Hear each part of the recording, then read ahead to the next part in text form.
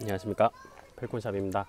어, 오늘은 Pixhawk와 펌웨어 그리고 GCS 이런 몇 가지 용어들에 대해서 조금 설명을 하는 시간을 가져보도록 하겠습니다. Pixhawk는 비행 컨트롤러라는 어, 드론을 이루고 있는 하드웨어 중에 하나입니다. 드론을 우리가 비행을 하기 위해서 드론 프레임이나 모터 변속기, 프로펠러 이런 것들도 필요하고 그리고 또 조종을 하기 위해서 조종기, 수신기 이런 것들도 있어야 되고 그리고 이제 동력을 주기 위해서 배터리 이런 것들도 드론의 기본 요소 중에 하나인데 그 중에서 비행 컨트롤러라는 부품도 필요합니다. 이게 실제로 이제 드론이 제대로 동작을 하기 위해서 제일 중요한 부품이에요.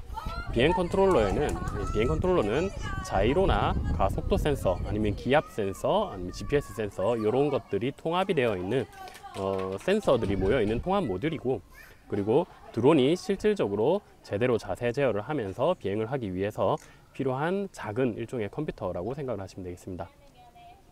이 Pixhawk뿐만 아니더라도 그 비행 컨트롤러에는 여러 가지 종류가 있습니다. 상용 제품들 중에서는 DJI에서 나오는 뭐 Naza라든가 N3, A3 이런 모델도 있고 또는 Tarot에서 나오는 ZYX-M 이런 제품도 있고요. 아니면은 레이싱 드론과 같은 아주 작은 드론에 사용이 되는 F4나 F7 이런 어, 작은 비행 컨트롤러들도 있습니다.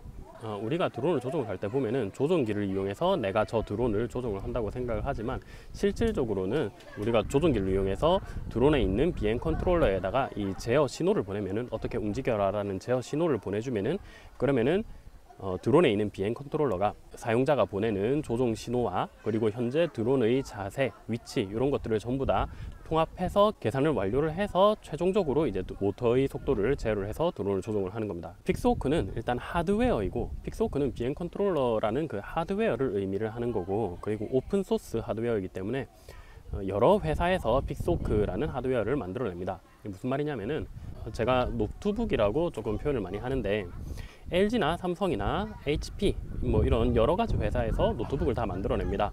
우리는 일반적으로 노트북이라고 하면은 어, 모니터, CPU, 뭐 메인보드, 키보드 이런 것들을 일체형으로 조립이 되어 있는 하나의 단일화된 컴퓨터를 우리가 일반적으로 노트북이라고 얘기를 하죠. 네, 그런 식으로 정해진 규격에 맞춰서 어, 정해진 규격에 맞춰서 각종 센서를 탑재한 이 하드웨어, 비행 컨트롤러 하드웨어를 우리는 일률적으로 전부 다 Pixhawk라고 부르는 겁니다. 거는 Pixhawk의 규격에 맞는 이 정해진 규격에 맞춰서 제품을 만들어야 그걸 Pixhawk라고 명명을 할 수가 있다는 거고 이 규격은 Dronecode 재단에서 관리를 합니다. Pixhawk 자체는 하드웨어이기 때문에 Pixhawk라는 하드웨어를 실제로 사용을 하기 위해서는 우리가 제어 프로그램을 Pixhawk에다가 설치를 해야 됩니다. 어, 제어 프로그램을 설치를 한다는 것은 우리가 노트북을 예를 들어서 구매를 했다면은 노트북만 가지고는 아무것도 할 수가 없죠. 노트북에다가 윈도우를 설치를 하든 리눅스를 설치를 하든 뭔가 프로그램을 설치를 해야 이 노트북을 사용을 할 수가 있듯이 Pixhawk라는 하드웨어 안에 어떤 프로그램을 얘를 이제 구동을 시킬 수 있는 프로그램을 설치를 해야 되는데 그 프로그램을 우리가 펌웨어라고 합니다. 펌웨어는 일반적으로 ArduPilot과 PX4를 제일 많이 사용을 하는데 PX4는 처음에 Pixhawk를 개발한 음. 곳에서 Pixhawk 구동을 위해서 함께 제작을 했던 그런 펌웨어고 그리고 ArduPilot은 원래는 Arduino용으로 나왔던 ArduPilot이라는 프로그램이 있었는데 그거를 Pixhawk용으로 지금은 개량을 해서 그렇게 나오고 있는 게 ArduPilot입니다.